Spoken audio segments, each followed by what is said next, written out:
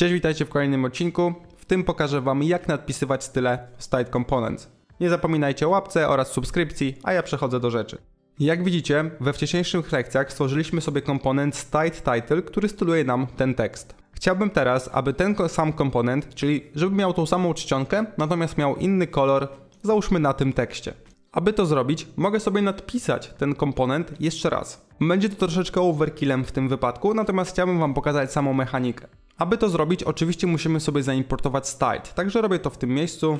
Następnie w tym miejscu tworzę ten komponent, czyli w naszym przypadku będzie to style, po prostu myślę, możemy to nazwać na ten moment style text. No i tutaj porówna się, dajemy style, a następnie otwieramy nawiasy i w środku wrzucamy ten style title. No i w tym miejscu możemy nadpisywać style właśnie dla tego style title. W naszym przypadku niech to będzie po prostu kolor na red. Teraz kopiujemy ten style tekst i po prostu oplatamy nim nasze H2. Jak widzicie działa w bardzo fajny sposób. Z racji tego, że w tym odcinku pokazuję Wam pewne sposoby pisania styli, no to pokażę Wam jeszcze jeden. Ostylujmy sobie ten nasz główny wrapper, czyli tego diva. Nazwijmy ten styl style wrapper. Oczywiście będziemy stylować diva, czyli style.div no i tutaj możemy pisać jakie style chcemy. Załóżmy background color na green. Tak po prostu, niech to mniej więcej się różni. Nie będzie to widoczne, ponieważ musimy to w tym momencie załączyć, czyli kopiujemy to sobie i zamiast tego diva wklejamy style wrapper. Jak widzicie nasz div jest na zielono, ale po co tak naprawdę Wam to pokazuję? Z tego względu, aby pokazać Wam, że style components tak naprawdę działa troszeczkę jak preprocesor SAS.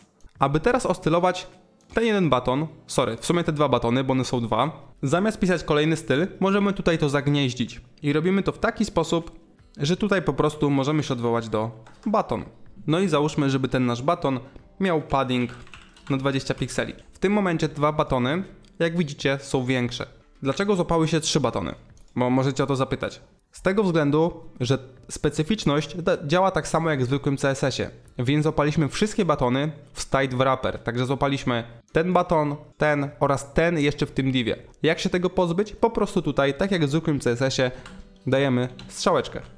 No i teraz te dwa batony są z paddingiem, natomiast ten nie. W tym momencie pojawia się jeszcze jedno pytanie. W jaki sposób na przykład możemy odwoływać się do elementu before, czyli do pseudoelementu właśnie CSS-ie, takiego jak before lub after. Robimy to w bardzo banalny sposób. Załóżmy, że chcemy sobie zrobić ten pseudoelement w batonie. Dajemy ampersanda, następnie dwa razy dwukropek, no i before. Oczywiście ten nasz before musi mieć content i żeby za dużo nie pokazywać, to może po prostu wpiszmy coś w tym kontencie. Na przykład tutaj jest before. Po odświeżeniu, jak widzicie, jest to pseudoelement before, czyli ten pierwszy, ten po lewej stronie, no to jak widzicie, pokazuje się tutaj, tutaj jest before. Tak samo działacie z first child, z second child, no generalnie nie ma tutaj naprawdę żadnego znaczenia jak to robicie, natomiast musicie pamiętać, że większość takich rzeczy zaczynacie od ampersanta. Mam nadzieję, że troszeczkę więcej już Wam wyjaśniłem, w tym odcinku tyle, zapraszam do łapkowania, subskrypcji, a ja zapraszam Was do kolejnego odcinka. Trzymajcie się, cześć!